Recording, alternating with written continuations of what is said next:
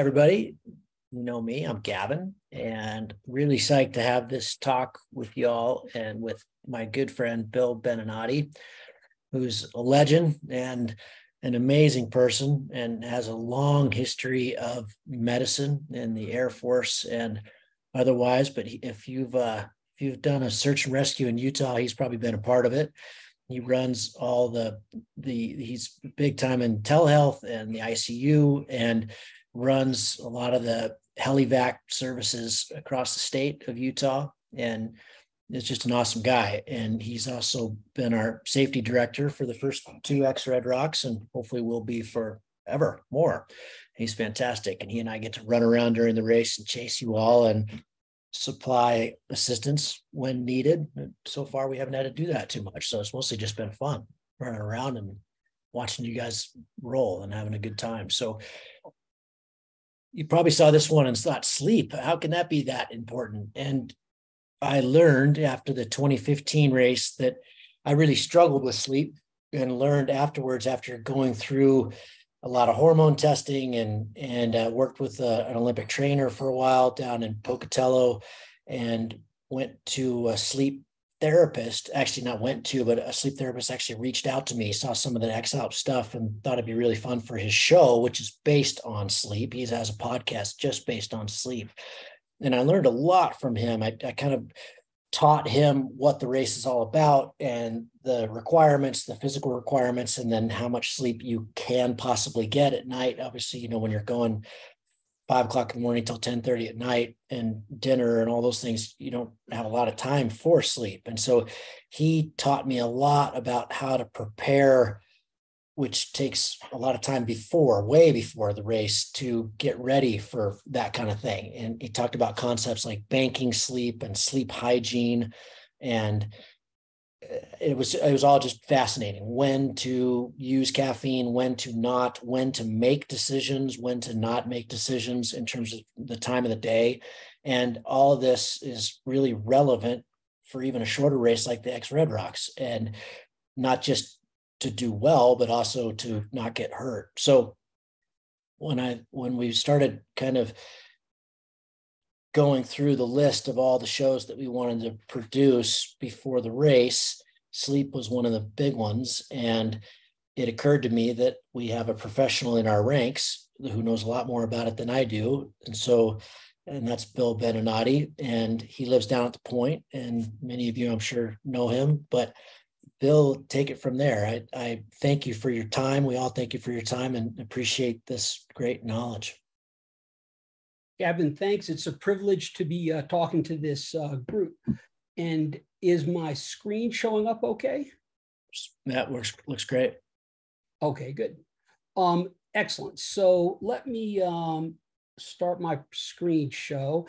And um, the first thing I want to say is there is a tendency for sleep experts to get a little bit preachy sometimes um, and try to scare people with all the bad things that can go wrong if you don't sleep perfectly. And I definitely do not want to do that, right? What I would like you to do is to have a understanding, a working understanding of what goes into good sleep and look at how to optimize those things in your life without you know trying to create chaos right? We all have to live our lives. And certainly as a icu doctor my life has been anything but a textbook picture of you know perfect sleep and somehow it all seems to work. Um, so to get it out of the way, let's talk about the heavy negative upfront about sleep deprivation, right? It is certainly the cause of countless um, very bad incidents and disasters around the world, both small and large, individual accidents, as well as major industrial uh, industrial disasters. So it is important that we take it seriously. Um, there is a a factor of acute sleep loss, right? Somebody who's caught up on their sleep and then has a very short night or misses a night of sleep. And there are some nice studies, which you're probably familiar with, that compare acute sleep loss to being intoxicated by alcohol in terms of your neuropsych performance. And I think all of us understand that. And I think all of us can feel when we're suffering acute sleep loss. A much more serious problem, I guess I would say, is what we would call chronic partial sleep loss. That's when you're a little bit short night after night after night after night. And um, I threw these pictures up because it's an example from my personal life of some chronic partial sleep loss. And I understand this very well, but the sky crack really bit me one day. I was just starting out and the thermal index was negative 12. You know, my mentor was saying, like, it's weird weather, you should not be flying. And I flew into a 2,700 foot per minute sharp edge thermal, ended up upside down bilateral cravats. And all of that and my reactions came back to my, my judgment was seriously impaired by chronic partial sleep loss. It's insidious. And the biggest thing is if you ask somebody, who's acutely sleep deprived, how they're doing, and then test them, there is generally a good matchup. If you look at somebody who has chronic partial sleep loss, ask them how they're doing and test them, there's a big mismatch. So that's certainly one of the things to be aware of as you go into this, one of the pitfalls. Again, just some other pictures. Oh yeah, oh, sorry, I was this. I can do this in my sleep. Yeah, that probably all of you have said that about things. And interestingly enough, there are some functions for which that's absolutely true. There's some great studies that were done with Army helicopter pilots, and they wanted to test them on doing emergency procedures, and they could not. 60 hours of complete sleep loss and the bold face on their checklist, they never made a mistake right? But there are other functions which are greatly um, impaired by sleep loss, um, like, for example, vigilance, um, lapses in attention, and your ability to consider alternative explanations. When we're sleep deprived, we tend to tunnel in on one thing along with many, many other, many, many other problems. So again, just some paragliding videos or, or shots of when you probably would not want to be sleep deprived to get yourself out of a situation like this, right? You want to think on your, be able to think on your feet. So bad sleep. What about good sleep? What's good sleep like? Well, you know, certainly our mental performance and why this for us as pilots, we think about judgment and safety is spot on, right? We're in a better mood. Um, physical performance and recovery. And there is an abundant evidence that sleep is tied to physical performance. And certainly people who are training for a hike and fly race, obviously that's a really big deal, right? Um, overall health, right? There are countless uh, well done studies linking good sleep to good health across the board, and of course, um, longevity and, um, and health span. So those of us in the sleep world, when we talk to people, we tend to get some fairly bipolar reactions, right? There are the people who just don't take it seriously at all. And maybe they're people who are high functioning compared to those around them. And they've been able to kind of play fast and loose with sleep, do things that probably you shouldn't do for your sleep. And they seem to be getting away with it. And for folks like that, I would say number one, it's wonderful that you're that you've been safe and are functioning at a high level. Just look at some maybe low impact things you could do to tweak your sleep and do a little bit better. Um, and so not saying that you have to overturn your life but just look at maybe a few little simple things you could do that might make a difference. On the other hand we run into people when you bring this up they're completely freaked out and stressed out about um, sleep issues which is a self-defeating problem right? Sleep is one of those sensitive things that if the more you're worried about it the more you you will um, get the more your sleep will suffer. So please do not um, fall into into this category either right? We're looking for for more of a middle road. And you know I put this picture up. I took this a few months ago because, in some ways, to me, this exemplifies some of what I want to get to. Think about, you know, this is a picture of a well functioning team of people, you know, having fun paragliding. Well, your your body, right? If you're involved with hike and fly racing, you're obviously a high functioning individual, and your body is a collection of of functions that are doing well. And you see that one pilot at the bottom here, you know, as we all moved away from the hills out into the flats, and you don't see a lot of clouds around us, right? We're in kind of a blue hole. There was some lift there, but no one knew where it was. And maybe the guy in the orange in the bottom went off on a worse direction, but we were a well functioning team. And and he caught up with us and everything was good later in the day somebody else may have gone off in the wrong direction and the guy in the orange right? The point is our body is a very complex system with layers and layers and layers and checks and balances. And um, you know if one thing is off there are things that we can do to make it better. So I, again i want to remove this sense of catastrophe surrounding bad sleep. Look for opportunities to make it better, but don't think that a bad night of sleep or a couple bad nights of sleep, you know, and and and you're guaranteed to crash or anything crazy like that. Um, so it a little bit of the physiology here, right? Hopefully, some some of you folks may want to geek out on this kind of thing, and if you understand some of these basics, it will help you make decisions in your own life uh, about how to, you know, uh, no no set of lectures or discussions or books or things that you read will can will prepare you for everything. But if you understand a few of the basics you'll be able to make your own good decisions so the, the first thing that governs sleep we call it process s homeostat is a fancy word for physiology. Basically that means self-stabilizing right?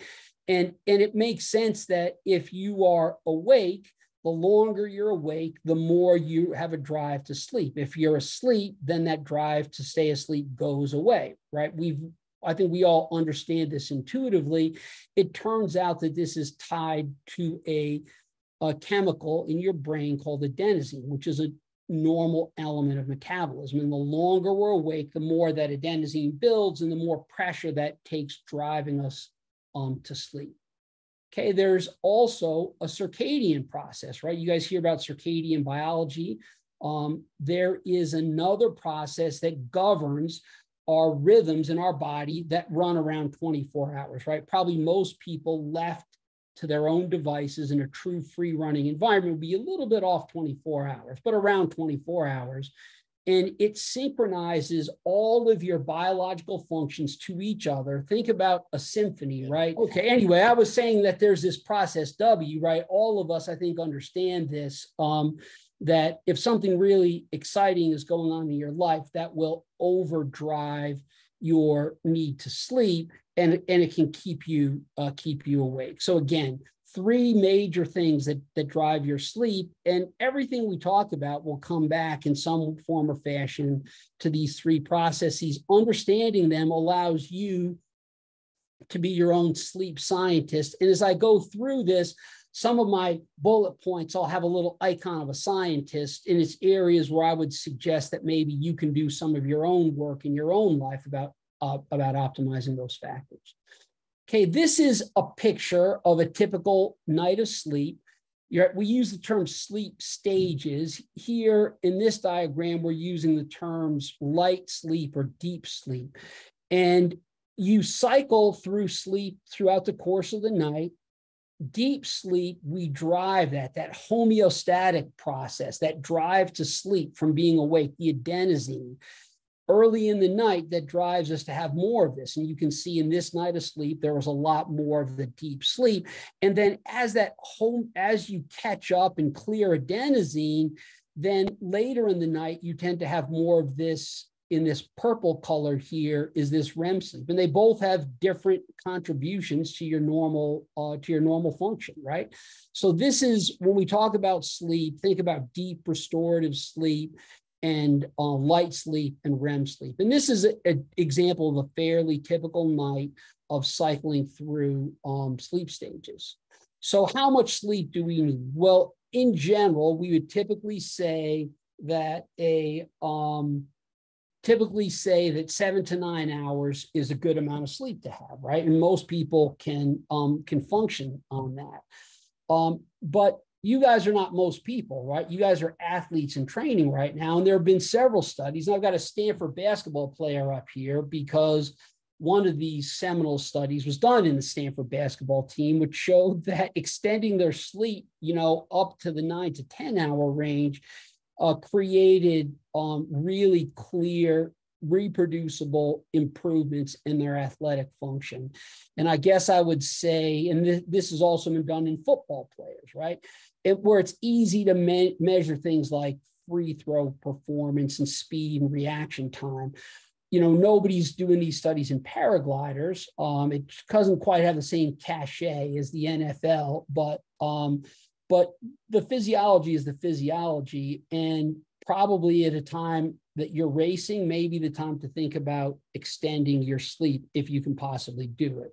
And again, strive for regularity. I will hit this over and over and over again the more that your sleep is regular, the, we use the term entrainment, the more these circadian rhythms will run in synchrony with each other, the more you're going into a novel situation from a position of strength, right? Not going into a novel situation from a position of, uh, of weakness, already behind on sleep, already with the dis, disorganized, chaotic rhythms. Now, I mentioned the term short sleepers here one of the things that I hear from many people is I don't need all that sleep. I'm fine without it. And in fact, there are such a thing. There are people who seem to have a reduced biological need for sleep. Um, there are far fewer of those people than those who believe have a reduced biological need for sleep, right? When you put people in the lab who claim they're short sleepers, you find out that they're just used to being sleep deprived um, and and they are significantly impaired by it and want to rebound their sleep. So if you think you're a short sleeper, you may be right, but probably not. You probably need the same amount of sleep that the that the rest of us need. So for those of you who haven't been to uh, Monroe yet, this is an example of a beautiful morning in Monroe. You can see we often get a layer of clouds right below launch and a layer of golden aspen trees you know, below that. So it is an incredible place to be and to fly. Um, okay, so let's talk about napping, right? Napping is an important topic. Um, what's good about it? Well, it feels good. And remember that process S that I mentioned, the accumulation, this takes that adenosine down. And so we are more alert and we function better after an appropriate nap. The downside of it, unfortunately, it clears adenosine and it can rob sleep drive from your night's sleep. And so generally we would say avoid napping for probably seven or eight hours before your bedtime. Now, this is something that you may be able to experiment with on your own. And we'll talk at the end about how to conduct these self experiments. But um, generally, it's a good idea to avoid that. And then it also is a good idea to keep your naps relatively short in duration. There's something called sleep inertia um, where um, if you get into deep sleep and you don't complete a full cycle through, you wake up, you're actually more impaired than if you had never napped. And by the way, in that the, that sort of the, the slide, the pictures I showed at the beginning, where I got myself into a bad mess in that 2,700 foot per minute circle, uh, uh, thermal, another element of that was that I napped on launch and then woke up groggy. I didn't do a strategic nap. A strategic nap will be to limit that opportunity to 20 or 30 minutes.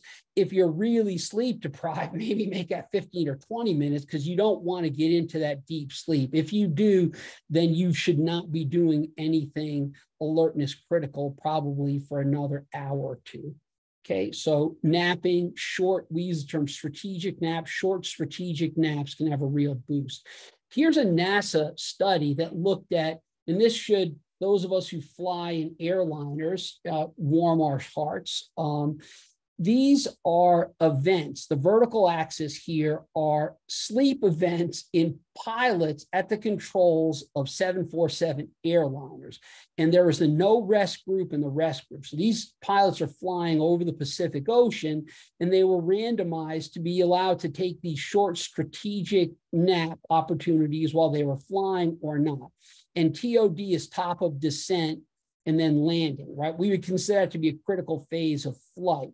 And look at that. The people, the pilots that were randomized to not rest, look at the number of events they had to include micro sleeps during critical phase of flight here.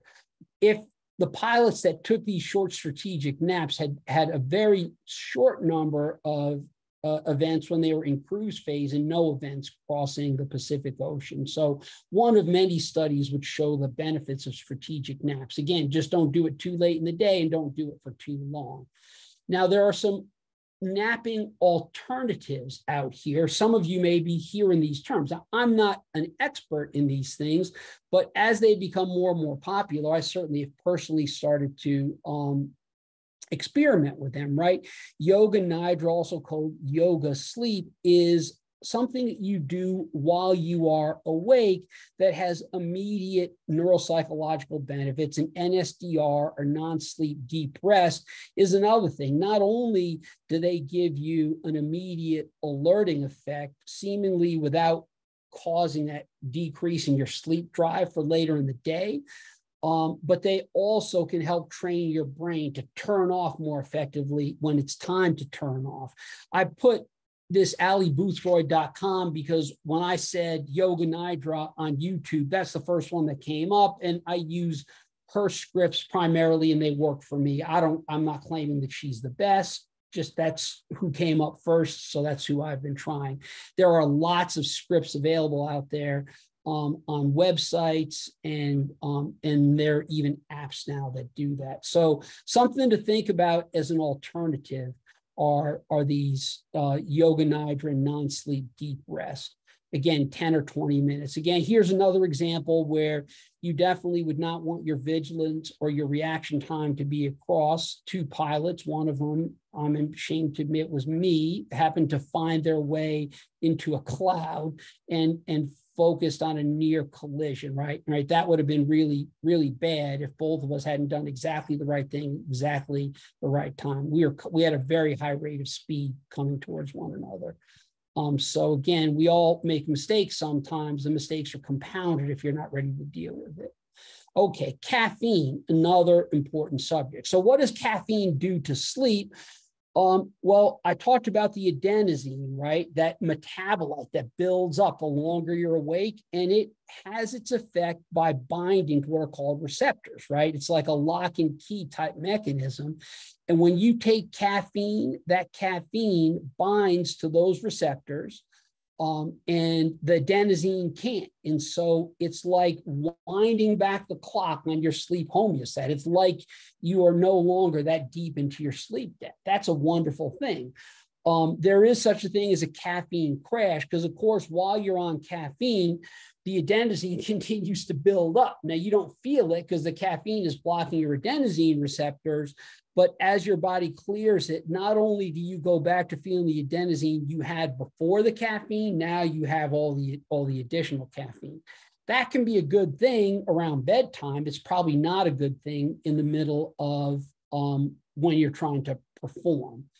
Um, so I would don't I would recommend not taking it for the first couple hours. You oftentimes you'll wake up feeling a little bit groggy. You just want that first cup of coffee there are a number, this is a long discussion, I won't go into it, a number of physiologic benefits to allowing your bodies, give yourself 10 minutes, the body's alerting mechanisms will take over. And if you can push starting that caffeine a couple hours into the day, it'll have it'll have multiple benefits to include not needing it, um, uh, not needing as much of it. Um, and then probably avoid it for seven or eight hours before bed, bedtime. Now, I put the little scientist icon here though, because as opposed to the short sleeper, which is pretty darn rare, there is a significant variability in how we metabolize and respond to caffeine. And there are people who can pound, you know, double espressos at bedtime and it won't affect them. How do you know if you're one of those people? In a systematic way, um, test yourself uh, on that. And then, you know, obviously there's an issue about the source of it, right? Like some of these plant based sources have a number of other additional uh, beneficial substances. So I try to, I personally try to go more towards you know those items but certainly energy drinks have a role and they are fast and they're a lot easier more portable than brewing coffee you know when you're um when you know when you're out in the field so to speak. So again we've talked about this homeostat here and how it how it increases your drive to sleep. You can imagine how chaotic life would be if all we did is respond to that homeostat. And i'm going to this is a a figure that illustrates that. This is this is these are days on the rows, right? So day one through day 20.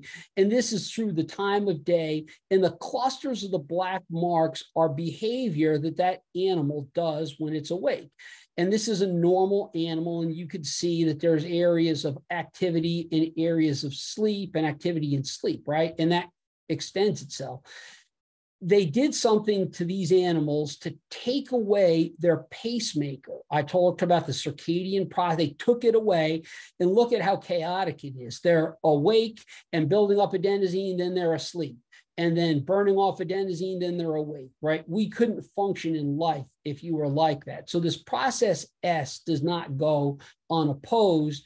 The process C steps in and um, that's what I want to talk about next, right? So the you don't need to know this if you're a if you're a science geek and you want to, it's called the suprachiasmatic nucleus of the hypothalamus. That's the pacemaker of our brain. And chiasm refers to the it, the point where the nerves coming out of our eyes come back and then cross one another. And it's a very strategic location because the primary input into this thing, and it drives pretty much every cell in your body, follows a circadian rhythm. The pace setter for all of this is this nucleus. And what what's the pace setter for the nucleus? It's light and it's strategically located. So light coming in from your eyes goes straight back and straight up into that suprachiasmatic nucleus.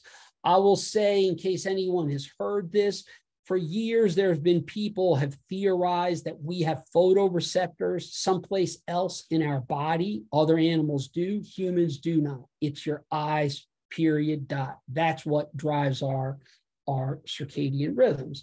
And we do very well when we are synchronized to the world around us and when we are synchronized internally, right? Like that, it's like that symphony where the players choose when they want to come in and play their part and then go on the rest. If it's chaos, it sounds like chaos. Our physiology is like that as well.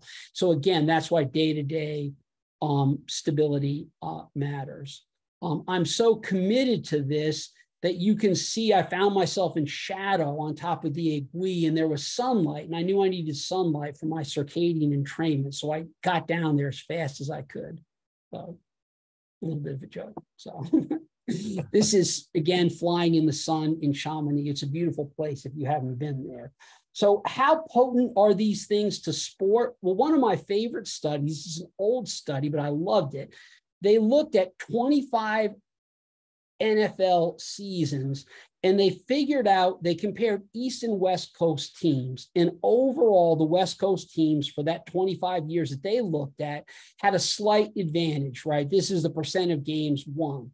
But then they look at Monday night football, which is held at nine o'clock Eastern Standard Time, and whether it's held on the East Coast or the West Coast, circadian biology would predict that the West Coast teams would have an advantage.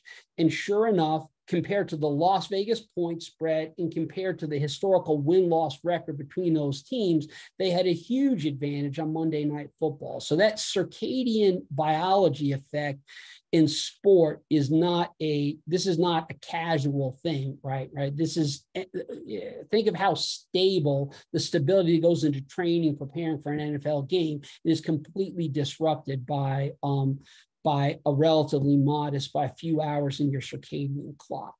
So again these processes interact. Um, if anybody is really wants to um, wants to delve into it, this figure, I'm not going to explain it right now, is from a beautiful lab from the chronobi- a beautiful study from the chronobiology lab at Harvard, where they forced people out of synchrony, for a month to look at how it interacted. And you can imagine that as you're approaching bedtime, your drive to sleep is really, really, really, really high. And so your function would be low, but we our function is not low. So there's a circadian process that drives it up anyone who is or has been the parent of a small child probably has seen this effect, right? You're getting ready for bed, you're kind of putting their toys away and quieting things down. And then suddenly it's like chaos. You turn around and they're going wild, toys are everywhere, and you're frustrated. And the next thing you know, they're asleep on the floor of the playroom, right? That's that's that circadian drive to sleep is really strong. We have it as adults too. It's just we don't run around and throw toys. Most of us don't run around and throw toys everywhere. The opposite would be, you know, now you've fallen asleep, you've burned all the beautiful deep sleep, burned through your adenosine, but it's not time to get up yet, right? That circadian process helps drive you to stay asleep. So these two things work with one another. And then, by the way, siesta is an actual biologic drive. That idea of a short strategic nap in the afternoon, it helps our mood, it helps our performance. Um, again, maybe a reason to get into goal early in the race so you can hit your siesta before you pack up and get ready for the next day. Okay, so we talked about next thing we got to talk about is light. Light is really, really important, right? That's the main pacemaker that drives our um that drives our rhythm. Um, and natural light is definitely more effective in impacting your rhythms. It's a lot brighter. There's a right mix of frequencies, but as you are absorbing this light, please listen to your eyes. If it hurts, don't look at it, right? Like, you know, like in the morning, don't look at the sun, look at the uh, the horizon away from the sun. Um, and because you can damage your eyes by this. Um, a few simple points about light. There is something called a phase response curve, and this is really important for uh, for our for our rhythms. There's a there's something in in our physiology called the body temperature minimum. And this is a graph tracking your body temperature throughout the day. And about two hours before your natural awakening, your body temperature bottoms out. And when we when sleep people talk about body temperature minimum, I don't care what the temperature is. What we care about is the time of day, and that time of day is really important to your to your um, sleep function. And this curve of what light does to your body changes at this body temperature minimum before. So let's say I normally wake up at 6:30 a.m. My body temperature minimum is going to be around 4:30 a.m.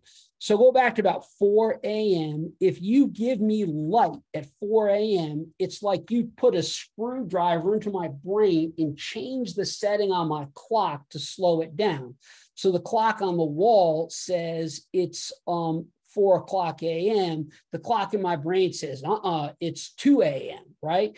And that really makes a difference when it's time for me to wake up and function. The fact that my clock has been slowed down. So light within a few hours before that body temperature minimum. So now I'm talking to you, screen time, you know, hounds. That that light tends to slow your clock down, hard to fall asleep, hard to wake up afterwards, right? So for me, now it's 5 a.m. Um, you shine light into me, and that has a tendency to speed my clock uh, back up again. And that's really important for jet lag, it's for shift work, and it's really important for day to day life. So when I talked about understanding these basic processes and using them for your sleep, understand what light does to the to the clock in your brain and how it depends uh, around that point. When I talk about keeping your bedroom really dark at night, you don't want to have light in here messing with your clock and slowing you down. When I talk about getting up and having light in the morning, that's what this is all about. So, ideally, within the first couple of hours, you want to get a good dose of light. I can't quantify what that is because it depends on where you live and the angle of the sun and all kinds of things, but a good dose of light. And then in the early evening, it turns out that's probably another time to get a good healthy dose of light. But as you get close to bedtime, please do not do that. It, it, it, it slows down the clock in your brain, messes up your circadian rhythms, makes it hard to fall asleep. So here's some examples, right? This looks like a well-lit office. This is 120 lux. That's you're not going to get a healthy boost in your in your light at 120 lux. This is just outside in filtered sunlight. And look at this over here with sunlight filtered to the trees, 18,000 lux, right? Look at that. That just coming out and, you know, reading a paper, or if people even do that anymore, looking at your phone while you're sitting out here, it's going to have a really sharp effect on this, even in the shade, right? You look at this, and this is like a dense shadow with outdoor light. That's still 6,000 nearly 6,000 lux, much lighter than the indoor, uh, much brighter than the indoor light. So the point is in the morning, wake up, get outside and get and get some light, depending upon where you live. If you're um, at a really northern latitude on a cloudy day, that might need to be 40 minutes. If you're in, you know, close to the equator on a bright day, that could be 10 minutes. Okay. But light is an important anchor for you. Let me stop here and see, are there questions or comments that people have about anything that we've covered so far before we get into the next crop of things? We, am I, are you tracking me? Yeah, this is great, man. That's awesome. Oh, good. Okay, here's another Monroe picture, Cove. Um, again, with the fall colors on there. Okay, exercise, right? Well, we all know it's good for your health, your sleep, and obviously, uh, you know, you you better be exercising before you come and start racing in uh, in Monroe. Um, it turns out that it's also really good for your sleep. And this is kind of an interesting, a very well designed, designed recent study showed that a burst of hot 10 or 12 minutes of high intensity, like interval exercise, um, at any point during the day makes you much more likely to have good solid REM sleep at night. And so this is just what I do. I've got a really crazy life and I don't have time to exercise many days, but I can almost always throw in 12 minutes of high intensity intervals on the indoor bike, or now I'm hitting the hills around my house. And that and, and that that is a simple thing that can help boost your um, boost your um, sleep quality and particularly your REM. Now, what's the right timing of exercise? There is, there are, you know, you could fill a train with the number of studies and opinions that go into this. And I have nothing to say about it, right? You've got Ben, who's an expert. You may have your own trainer. Maybe you're an expert. I'm not going to say anything about timing of exercise, except please do not do it for two to three hours before bedtime because it's very activating. It does make it, it does make it hard to sleep. So do exercise, you know, um, do some high intensity stuff. Even a few minutes can make a difference, but keep it away from that close to bedtime. What about alcohol? There is just so much that you could do with alcohol out there, right? So, so many creative things. Um, and you know, I do not actually mix absinthe, Jägermeister, and Pepto Bismol, but there are people who do that, by the way. the internet is a crazy place, and you can find something uh, that somebody's willing to do. So, alcohol does make you sleepy. So, a lot of people think of alcohol as a sleep aid. However, multiple studies show that it disrupts um, that it disrupts the quality of your sleep in very real and reproducible um, ways. So, the optimal timing you know, probably six to eight hours. And this is database, right? There are studies that have looked at when you can drink alcohol. So if you think about living a normal life, um, and when you go to bed, six to eight hours before, like you're probably at work.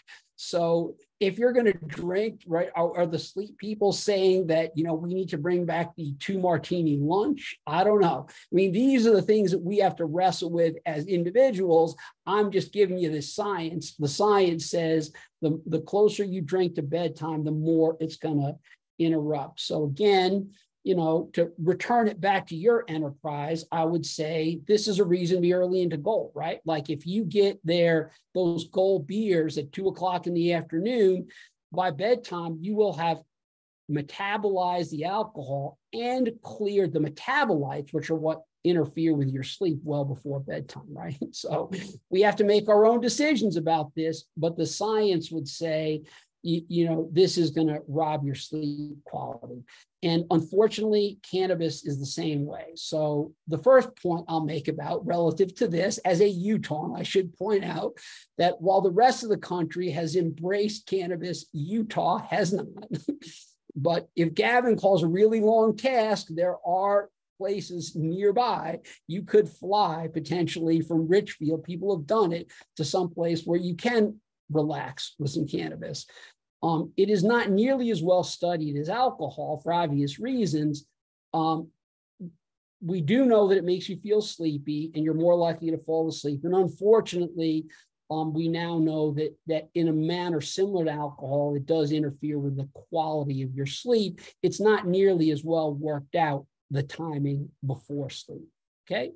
Um, so again, it's worth knowing if you use alcohol and cannabis that those are the things that are going to erode from the quality of your sleep. Now, you know, a dose of realism here. And again, I'm giving you my, you know, I have to be careful. The Sleep Society could, you know, revoke my membership for even saying this, but I recognize that you probably got to be a little realistic. So understand what this is doing to you. And on what I would say is on any given night, weigh against the other factors, right? Is there anything else going on in your life that's going to affect your sleep?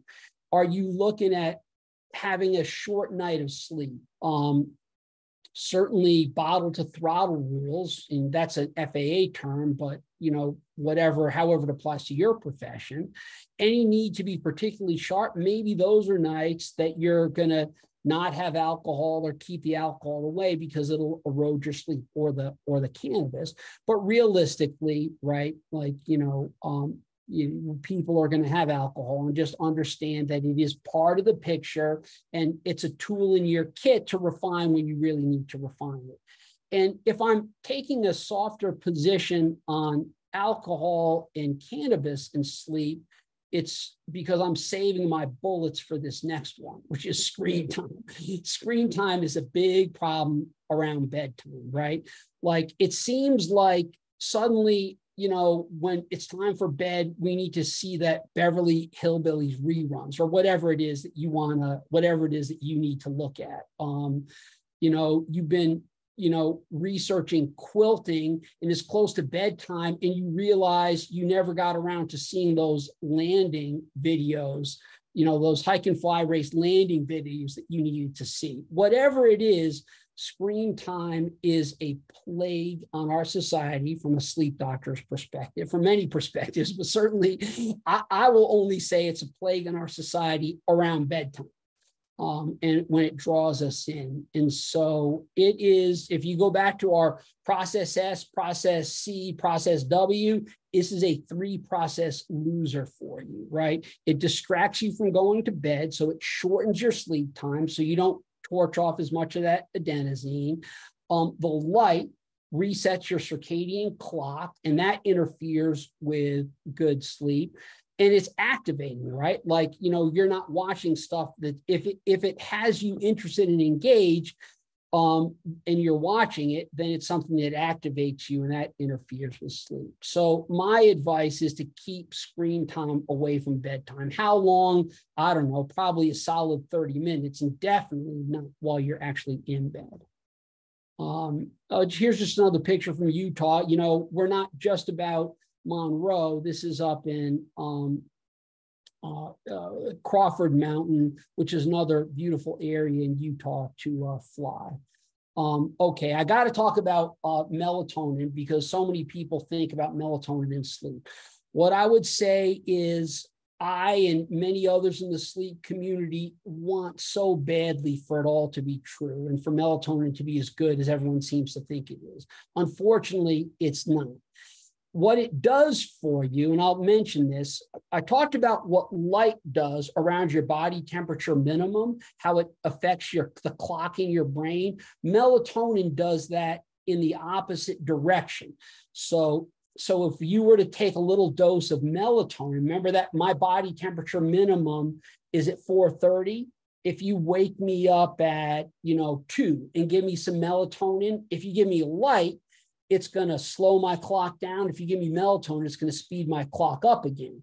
And much less so on the opposite side. Melatonin is a lot better on this side and doesn't seem to do as much on that side. So there is a physiologic effect to melatonin, right? And, and a basis for thinking it might do something. Unfortunately, melatonin is not just a sleep thing. It is a hormone that has effects all over your body and it affects important things in your body. Um, you know, if it biological calendar, look at animals with seasonal reproduction, all that's mediated through melatonin. Even though humans by and large don't have seasonal reproduction, sex hormones, which affect everything in our physical and mental function, we call them sex hormones, but they affect everything, are profoundly impacted by, by melatonin. And so I can't believe that the F, that the FDA just says, oh, you know, like there's no other hormone that you can just run down to the local grocery store and buy doses of. And, and this is a particularly potent hormone. And please, please, please do not give melatonin to children. It definitely messes, uh, definitely messes with children. Um, it's been well studied, and as a sleep aid, it flat out does not work. Again, well designed placebo controlled trials, right? Where the, the person doing the sleep study and the person interpreting the sleep study have no idea what's in that pill they just took. You find out after the fact, and the melatonin just flat out does not help as a sleep aid. The another problem is that the doses you get are massively above the physiologic doses that your body provides. And so not only you're taking a hormone, you're overdosing on a hormone. And on top of that, because it's not regulated by the FDA, you have no idea how much is in that pill. And um, there's a recent study when they looked at like 27 different supplements, and some of them were off by like thousands of percent in the quantity of melatonin that you're getting.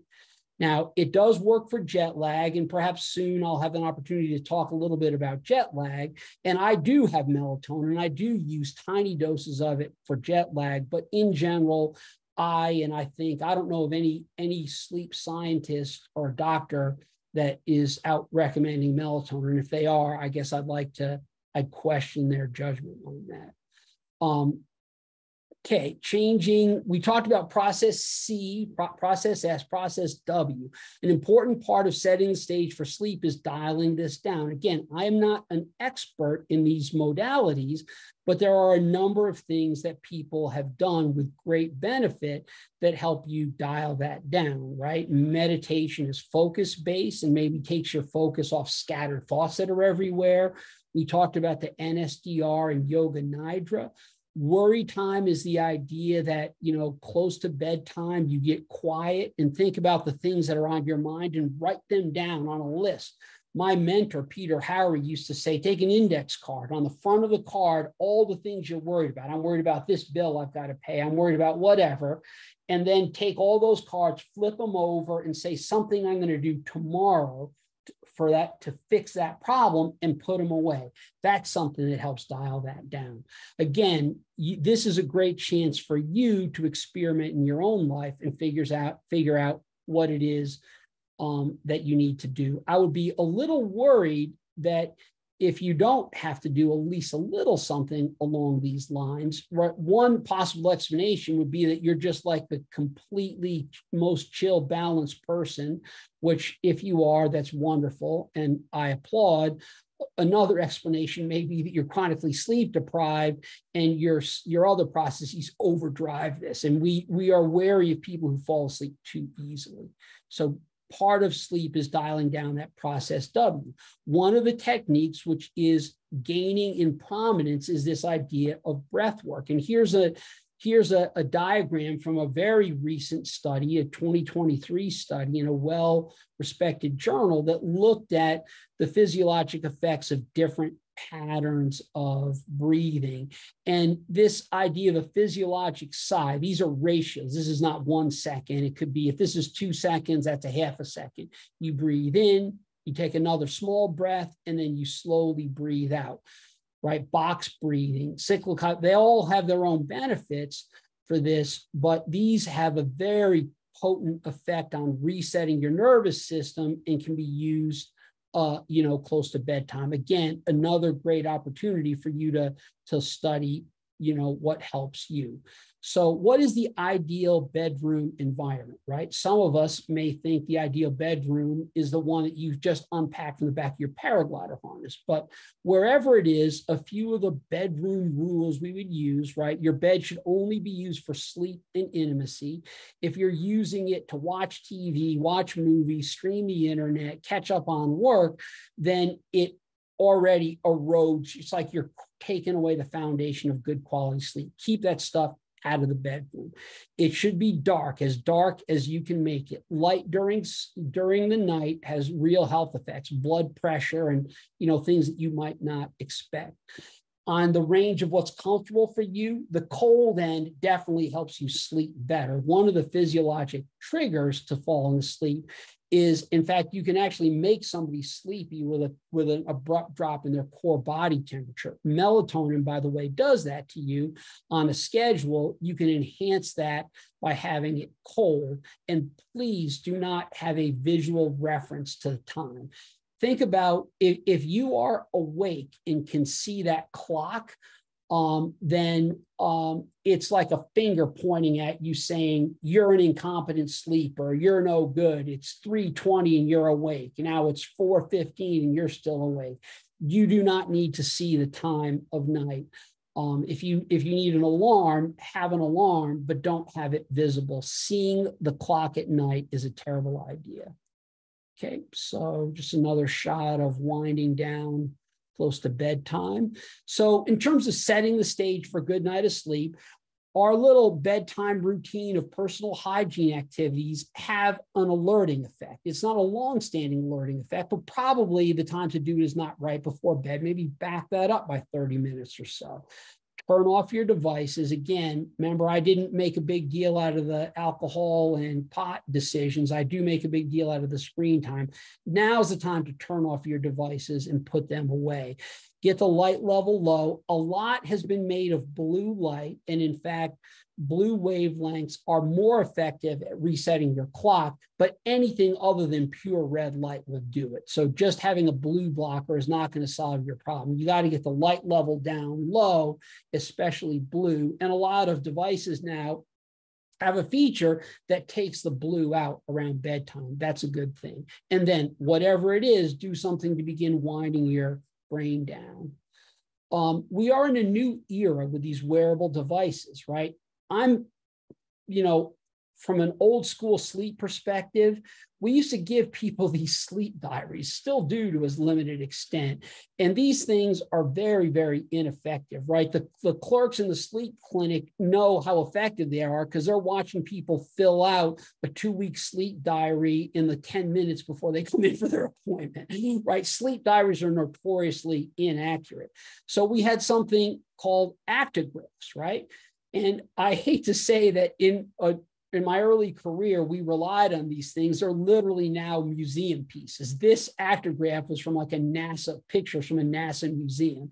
These have little accelerometers that measure your movement. Some of them even have light. And what's nice about that is the scientists who did the work with these things and compared them with electroencephalograms, you know, published their peer review published their algorithm so you really know what you were what you were working with and these were great tools insurance didn't pay for them but in the military we didn't have to worry about that and we use accelerometers or actigraphs to great effect nowadays they're everywhere probably most of us have one on their wrist right now. I do. I didn't get this to be an actigraph. I got it to be a GPS watch for you know, my outdoor sporting activities, but it turns out to be a really good actigraph.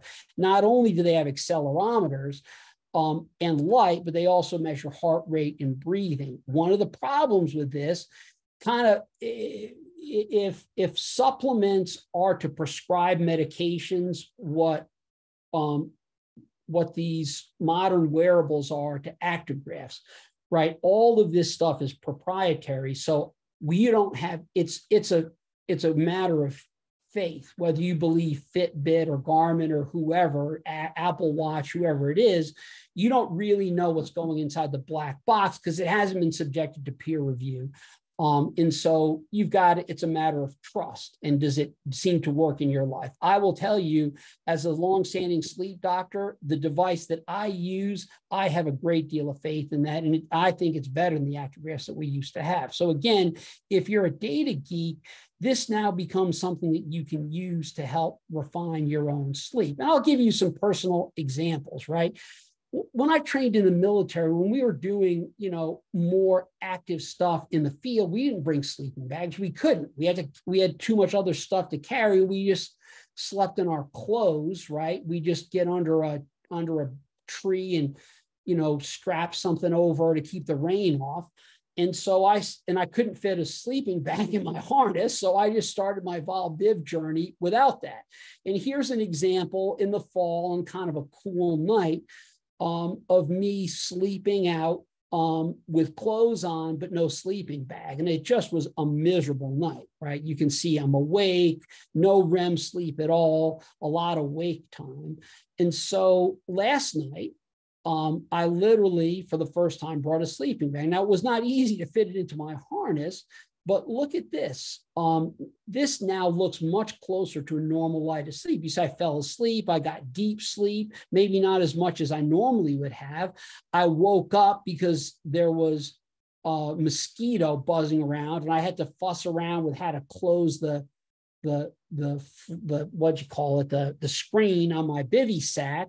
And then i woke up later because that made it hot. And so i had to say okay i'm going to deal with the mosquito. But you can see that this is much closer to a normal night of sleep. Now again this is not prove that sleeping bags are great. This is just an example of me using data because if you'd asked me I would not been able to see the dramatic difference between those two. Here's another example. Sometimes we wake up feeling a little unrefreshed. One of the things that my watch does is called a body battery, and it integrates a number of different functions of stress and rest. And you can see here during sleep, my body battery, this is in the, early in the morning, got higher and higher and higher. I woke up not feeling that great. I did a little yoga nidra for 10 minutes, and you could see my watch using whatever proprietary algorithm bumped it up. So we have tools on our wrists now, um, which are uh, allow you to take this to a new level if you have the interest. A few thoughts on doing it. Again, start from stability right like you you you you're not going to learn anything unless you're on a stable routine as many things as possible alcohol caffeine napping wake time get all that stable then you can start changing one thing at a time and finding out if it makes a difference. And it should be reproducible. Again, one data point. I showed you one data point for sleep. That does not um, make a legitimate conclusion uh, you know, you should look and see if it happens. Now, I, I don't get the opportunity to do Vol Biv enough that I'm going to have, you know, 30 nights without a sleeping bag. I'm just going to go off of that one data point. But you get the you get the picture here. And then when you find something that works, then that's part of your new stable routine. Then you can look at the next thing. So putting it all together, please get enough sleep, seven to nine hours, and think about around the time of an important athletic event, maybe even bumping that up higher. Be as regular as possible. Your body can deal with that one Saturday night, Friday night, or whatever that you got to cut loose, but get back onto your regular schedule.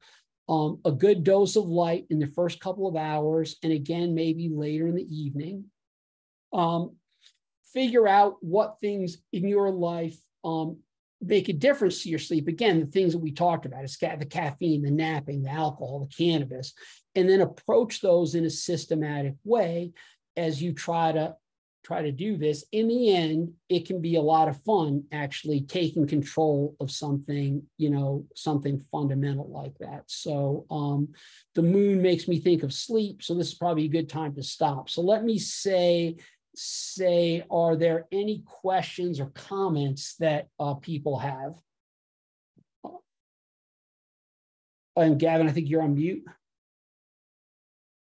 I just was going to say, great talk. I, learned a lot there, and I actually thought about my my daughter because we've got one of these little uh, uh, little things that makes light at, at night. I'm going to turn it off from now on, so she doesn't have that in her room anymore. But uh, thank you. I wanted to maybe offer some pragmatic or what I learned uh, in my races, and just get your comments on that. See what you think about some of the things that I put into practice after working with a, a, sleep doctor after the 2015 race, going into the 2017 race.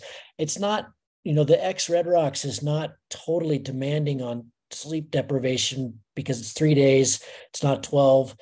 And, you know, we're we're done at usually 8 p.m. And usually we're done around Monroe. So we we get a we get the chance of having pretty good a pretty uh, full rest between each of the race days. But I, I, think some of the things that I did learn would be really helpful for the participants.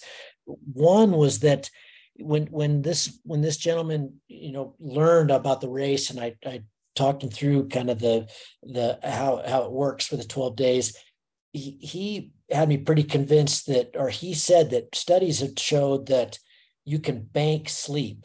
And so he was he said you know as you get into your taper the last couple weeks before the actual race starts and those of you who are training with ben will have a bit of a taper through his training. So he'll you know you you ramp up you ramp up it gets harder and harder and harder until kind of the the two weeks uh the, kind of the last month and then the last two weeks you'll start really tapering down and that'll give your body uh, a chance to fully recover and get completely charged up for the physical side he said, in that time, what I really should try to do is get as much sleep as possible. And he said, you don't have to worry so much if you're not sleeping. He said, just even lying down, even, you know, even just resting and working on your on your breathing and just closing your eyes or like you said doing a meditation in other words you know he was saying you're probably pretty you're probably pretty kind of full of adrenaline. You've got all the anxiousness of the race coming up. These are all just normal things. You can't make those go away necessarily. There's things that detune them, but but it's okay. Don't don't stress out about it. Don't stress out about even a bad night's sleep. Just rest a lot. Just you know, just lie horizontal as much as you can, uh, and that I don't know physiologically that had much of a difference, but it helped my head a lot. Just just you know, before the race at the at the pre-race week, you've got all this stuff you're running around a lot to do. But I made a real point of just going back to the van and lying down. Whenever I didn't have something I needed to do, I could just lie down and, and kind of relax. And so uh, I'll keep going and then you can comment on some of these things. The other thought, the other the other thing he said was really important and this wasn't just for me, but was for the team. And we don't have supporters in the X Red Rocks, but it's good to think about.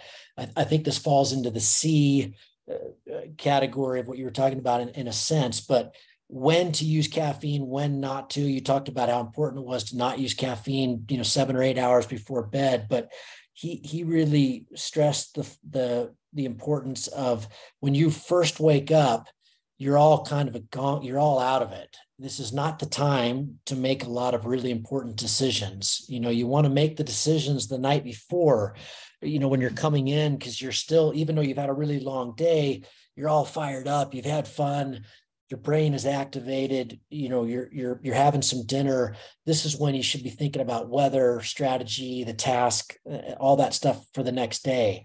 Because when you wake up, especially after a short night's sleep, you're out of it you're you're not you're not able to process things very quick and like you said you know that especially if you can give yourself some time with the caffeine you know get walking get moving get outside get some light you know he he, he was definitely said it was very important to wait you know a, a couple hours even uh, before making big decisions which in the X Alps was great because you're up at you're up at 4:30 you're moving by 5 so you're not making any decisions to seven. And that always worked fine because you've always made, you already made those decisions the night before. You know what you're doing the next morning. You're walking to this launch, you're going to take a sled ride. You've already got it pl- planned out.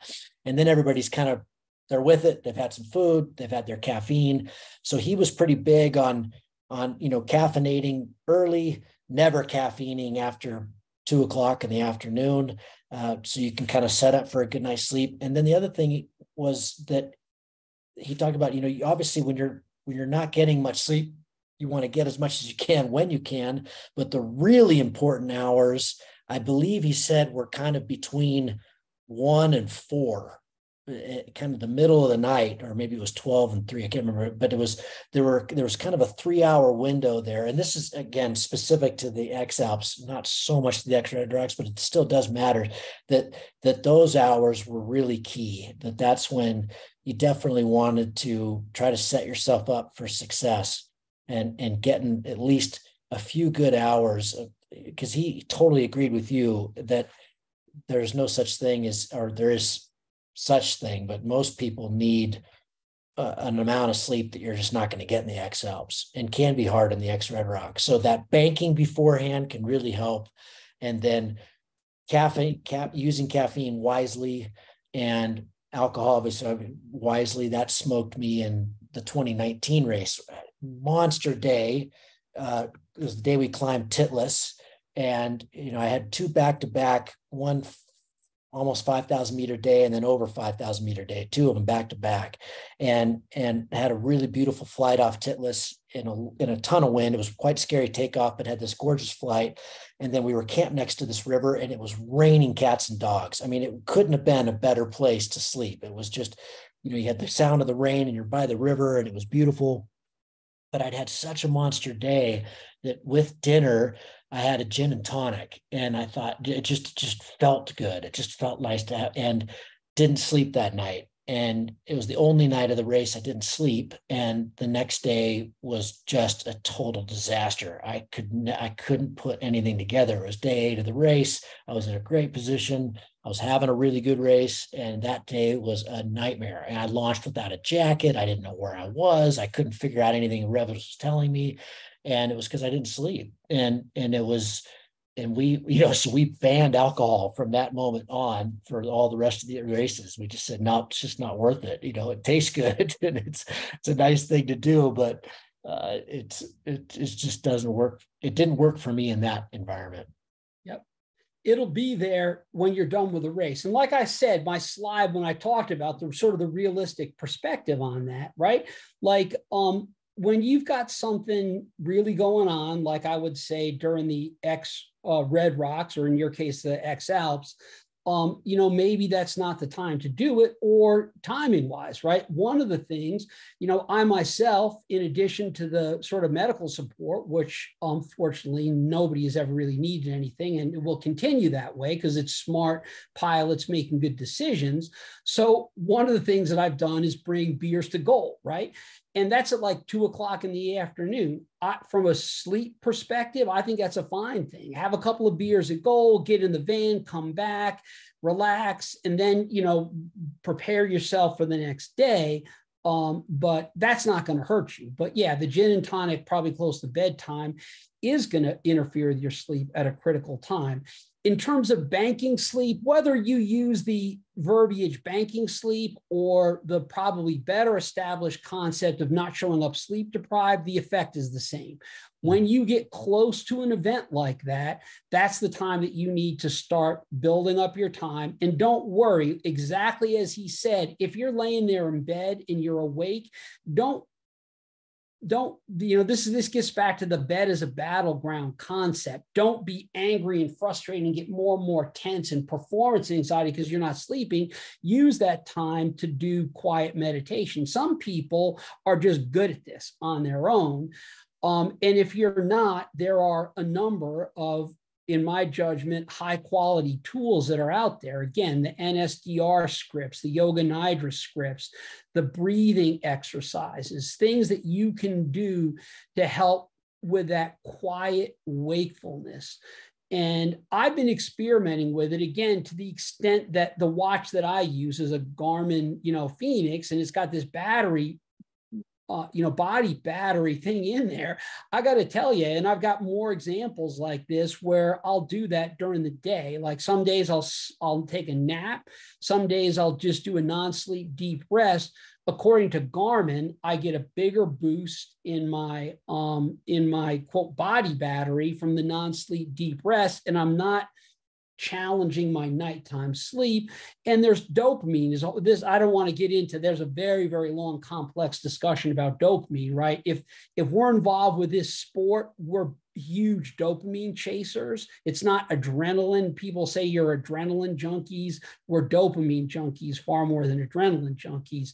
Um, but the, these other things seem to do more with that kind of thing. So I, I love the advice about um, about banking sleep or at the very least clearing sleep deprivation before an event. I love the advice about um, not stressing. If you're not asleep, you'll get the physical rest. And, and now there are, again, what if you're not good at it, there's a lot of help out there in terms of scripts that can help you make use of that. I love the idea of not making of decisions early in that morning time. I would further add, and I think there's, you'll find more and more people with this recommendation. Again, use that first couple of hours to maybe not out again use light use physical activity and hygiene and your all of those things will kind of bring you up. And then you can start bringing your caffeine in. And by the way that'll also help you not bonk from your caffeine while you're trying to perform athletically um, and then clear it out. So yeah no i think all i love all the advice that you got um, from that. And i think it does apply even to the x red rocks Great. Well, anybody else have any questions before we close this up? Bill, that was terrific. I learned a ton. Thank you for that. I appreciate it. Yeah, thanks, Bill. Yep. Um, really appreciate the information. I, I have a quick question. Maybe it has an obvious answer, but that's about hydration before sleep. Uh, we're going to be training. We're going to be getting worked in the day. We're going to come back. We're going to be dehydrated. Should we is it okay like a couple glasses of water before bed including obviously hydrating throughout in between the days? Do you have any sort of comments or guidance on that? Yeah i've i haven't been able to track this down to primary data yet but i somebody reputable said that they it had been about the question of how quickly because the problem with hydration before bed is of course it wakes you up to need to pee right now, if you're a good sleeper, that's not a problem. Get up, pee, get right back to bed again, and you'll have a, a, an unimpaired night of sleep. So if you're a good sleeper and you can do that, then, then the hydration is really important. One of the things I've heard, and I've been meaning to try to track this back to the primary source, and I haven't tried yet, is drinking, doing your hydration a little bit more slowly, it impacts your kidney a little bit differently. And you may not have that same need to get up in the middle of the night. But yeah, I would not, I would not let the need to sleep overcome the need for hydration, um, especially if you're a good sleeper and are going to get yourself back to sleep again afterwards. And again, you get up, pee, get back in bed, you can't fall asleep again. Maybe now is the time to call on some of those other scripts that that you can have on your phone. You can have it as an app, you know, the non-sleep deep rest, or and then you will end up falling asleep. By doing that, doing a breathing exercise, if your process C and your process S say you should be sleeping and you've taken your process W out of it by doing breath work or something like that, you'll fall asleep. So thank you. Yes, do attend to your hydration um, and, and don't let that, uh, don't let sleep stop you from that. Ribs, we'll have a talk to just totally specific to hydrate hydration and nutrition as well. And you'll, you know, you can start experimenting this stuff with your own training, you know, before then, but we we learned a lot as a team and then ben's really good at that. He's got a whole system down. He's trained a lot of these you know the ultra athletes and stuff that you know people go pretty intensely for 24 hours or more kind of thing and and has has a pretty good system for that. Awesome. Yeah i'll look forward to it. Cool. Anybody else? Thank you. The talk was great I enjoyed it. Yeah, yeah that was awesome, Bill. Me. Thanks, man. You're the bomb, dude. Love you. I appreciate it's it. privilege.